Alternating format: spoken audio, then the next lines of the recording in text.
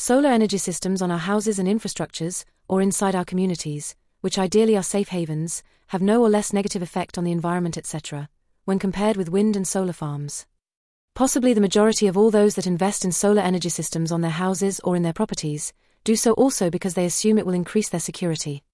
Others will do so because it will render them a passive income. Energy distributors not paying and also underpaying for surplus energy injected in the grid frustrates their attempts, which are clearly honourable, sustainable, and environment friendly. Governments and distributors claim to support all the above, but allow for the frustrations and losses. The only thing that is needed is decentralized conversion of excess energy into easy to store fuels. This also increases the security of all parties involved, from governments, companies to every civilian. In case companies and governments cannot handle this, for sure there are private companies and associations that are eager to invest in it. For income as well as for safety. What happens right now is undervaluing solar energy from homes injected in the grid during the hours of sun. This energy should also be transformed into easily storable fuels that can be used directly as fuel or to generate energy whenever there is need.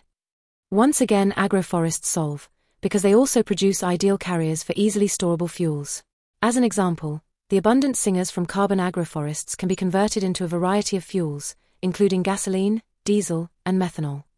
The conversion of syngas to gasoline plus, STG plus, is a thermochemical process that converts natural gas, other gaseous hydrocarbons, or gasified biomass, all eventually from carbon agroforests, into a variety of drop in fuels.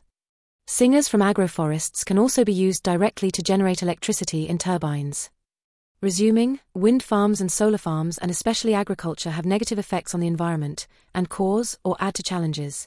This while carbon agroforests have positive effects on the environment, human health, and solve challenges.